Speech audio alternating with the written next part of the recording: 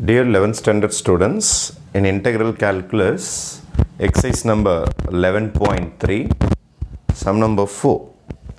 Integrate the following with respect to x. இந்த மாதிரி combination of three functions கொடுத்துருக்காங்க இதை integrate பண்ண சொல்கிறாங்க with respect to x.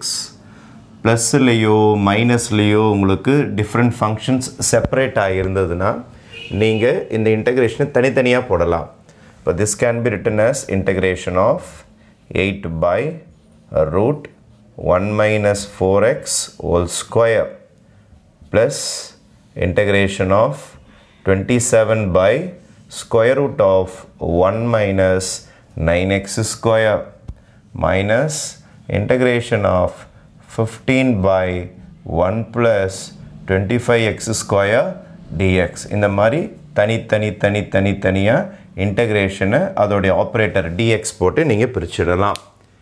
After this இந்த மாதிரி ஏதாவது கான்ஸ்டன்ஸ் இருந்ததுன்னா எயிட்டு டுவெண்ட்டி செவன் ஃபிஃப்டீன்லாம் இருந்ததுன்னா இதை வெளியில் எடுத்துடலாம் நீங்கள் அப்போது எயிட் வெளியில் எடுத்துடுறேன்.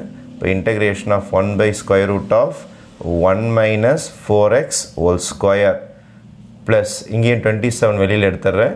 Dx okay dx integration of integration of one by square root of one minus nine x ஸ்கொயரை three x whole square into dx அப்படின்னு பிரிச்சிடலாம்.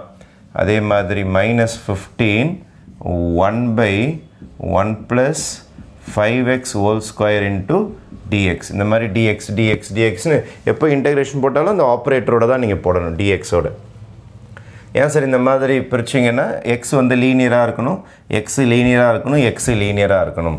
Is equal to eight one by square root of one minus x ஸ்கொயரோட formula sine inverse of x. Integration of one by square root of one minus x square is sine inverse of x. அப்போ sine inverse of இங்கே x இருந்தால் x போடுவீங்க four x இருந்தால் four x போட்டுக்கணும். Sine inverse of four x ஆனால் மறக்காமல் என்ன செய்யணும்னா எக்ஸு கூட என்ன நம்பர் இருக்குன்னு பார்க்கணும். X கூட ஃபோர் இருக்கிறதுனால அதை டினாமினேட்டரில் எடுத்து வந்து போட்டுடணும். டினாமினேட்டரில் போட்டுடணும். Plus twenty seven one by square root of one minus x square is sine inverse of x x இருந்தால் எக்ஸ் போட போகிறீங்க த்ரீ எக்ஸ் இருந்தால் sine inverse of three x போட்டுருணும் whole divided by கூட எக்ஸ் கூட த்ரீ இருக்கிறதுனால by three வந்துடும் by three வந்துடும் minus fifteen one by one plus x ஸ்கொயர்னா tan inverse x one by one plus x ஸ்கொயர்னா tan inverse x. அப்போது tan inverse of x இருந்தால் x போட போகிறீங்க five x இருந்தால் five x போட்டுருணும் x எல்லாம் லீனியராக இருந்ததுன்னா தாராளமாக டேரக்ட் ஃபார்மில் நீங்கள் அப்ளை பண்ணிடலாம். ஆனால் எக்ஸு கூட என்ன நம்பர் இருக்குது? ஃபைவ் இருக்குது. அதை மறக்காமல் எடுத்துகிட்டு வந்து கீழே எழுதிடணும்.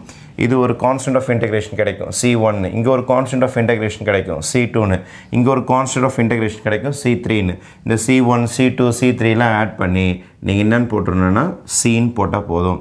இந்த ஃபைவ் டேபிள்ஸ் ஃபிஃப்டீனை கேன்சல் பண்ணால் யூ வில் கெட் த்ரீ இந்த த்ரீ டேபிள்ஸ் டுவெண்ட்டி செவனை கேன்சல் பண்ணால் நைன் இந்த ஃபோர் டேபிள்ஸ் எயிட்டை கேன்சல் பண்ணுறது two therefore your final answer will be 2 times sine inverse of 4x plus 9 sine inverse of 3x minus 3 tan inverse of 5x plus c will be your final answer. Okay?